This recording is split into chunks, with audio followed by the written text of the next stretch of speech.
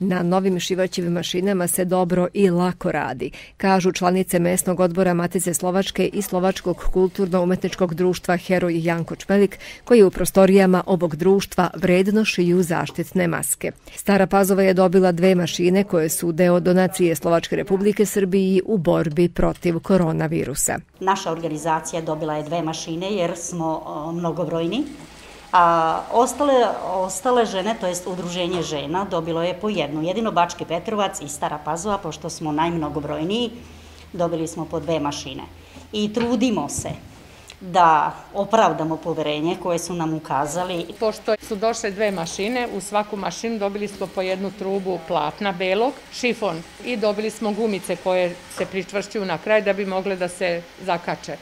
Tako da imamo obavezu da isporučimo u e, središnju maticu, znači u centralu, po 50 komada, već smo to odradile i onda ćemo ovde u našoj samo upravi dati. Uporedo šiju i na svojim mašinama koje imaju u udruženju i od dobijenog materijala napravit će oko 600 zaštitnih maski.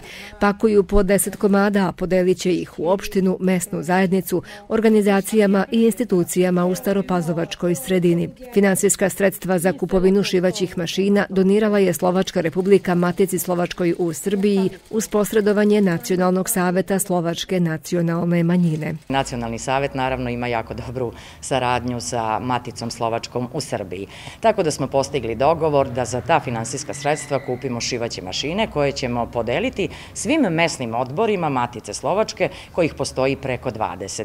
A ti mesni odbori Matice Slovačke će dalje te šivaće mašine dati udruženjima žena. Pazovačke žene se trude da daju svoj doprinos u zaštiti od koronavirusa i zato su nesebično svoje vreme i veštine ovih letnjih večeri usmerile u tom pravcu. Već su stekle rutinu tako da su voljene da proizvode maske i nadalje ako bude potreba, što znači da zasigurno na dobijene mašine prašina neće padati.